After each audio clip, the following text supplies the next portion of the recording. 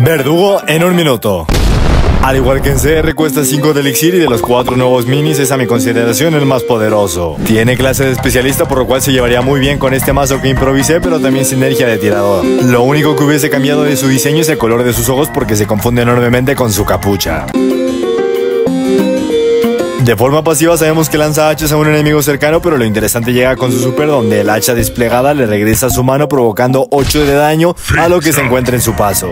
Con la primera mejor inflige 14 de daño, algo a considerar puesto que por el mismo precio la princesa podría dañar 3 veces más. La segunda mejor le da maná y brinda 10 de salud por cada enemigo derrotado, mientras que con su tercera estrella, al caer sus puntos de vida por debajo del 20%, ejecuta al personaje que tenga enfrente, no importando la vida con la que cuente. Quiero que observen esta partida con detalle donde no solo se lleva a la reina o al esqueleto, sino también al propio duende lanza dardos y de no ser por el aturdimiento de la mosquetera, esta se iría directo para su casa.